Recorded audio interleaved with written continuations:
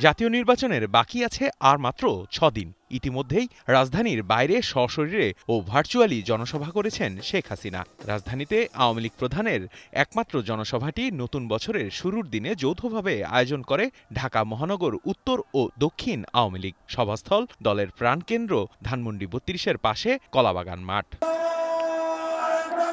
সোমবার বেলা তিনটার পরপর দলীয় প্রধান যখন সভাস্থলে আসেন, তখন স্লোগানে স্লোগানে মুখর চারদিক। নাচ গানের মধ্য দিয়ে বঙ্গবন্ধু কন্যাকে স্বাগত জানান ক্ষুদে শিল্পীরা। দলের কেন্দ্রীয় নেতা ও ঢাকা মহানগরে দলীয় মনোনয়ন পাওয়া প্রার্থীদের বক্তব্য শেষে বিকেল সাড়ে চারটায় বক্তব্য শুরু করেন শেখ হাসিনা। বক্তব্যে প্রধানমন্ত্রী শুরুতেই ইংরেজি নতুন বর্ষের শুভেচ্ছা জানান। বলেন, আওয়ামী লীগ ক্ষমতায় আসলে মানুষের ভাগ্য পরিবর্তন হয়। সবাইকে আমি এই নববর্ষের শুভেচ্ছা জানাচ্ছি। মানুষের আর্থসামাজিক উন্নতি হয়েছে মাথা পিছু আয় বেড়েছে, মানুষের চিকিৎসা সেবা জনগণের দৌড় করে পৌঁছে দিতে পেরেছি।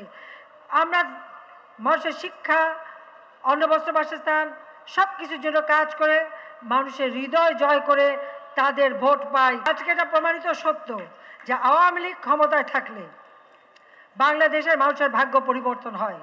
বিএনপি জামাত অগ্নিসন্ত্রাসের মাধ্যমে নির্বাচন বানচাল করতে চায় উল্লেখ করে প্রধানমন্ত্রী বলেন, সাত জানুয়ারি স্বতঃস্ফূর্ত ভোট উৎসবের মধ্য দিয়ে সব ষড়যন্ত্রের জবাব দিতে হবে।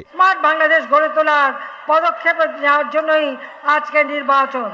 কাজে এই নির্বাচনে ভোট দিয়ে আপনাদের জয়যুক্ত করে প্রত্যেকে আপনার ভোট শুধু দেবেন না, আপনার ভোট আপনি রক্ষা করবেন। আর ওই অগ্নি সন্ত্রাস জঙ্গিবাদী সন্ত্রাসী বিএনপি জামাত তাদেরকে উপযুক্ত জবাব দেবেন।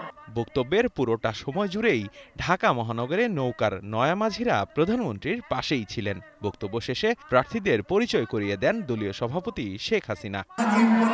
আগামী দ্বাদশ সংসদ নির্বাচনকে সামনে রেখে ক্ষমতাসীন আওয়ামী লীগ চায় ঢাকা জেলার প্রতিটি আসনে জয় এবং সেই জয় নিশ্চিত করতে আগামী নির্বাচনকে সুষ্ঠু ও স্বাভাবিক রাখতে ভোটারদের কাছে অঙ্গীকার ব্যক্ত করেন প্রার্থীরা।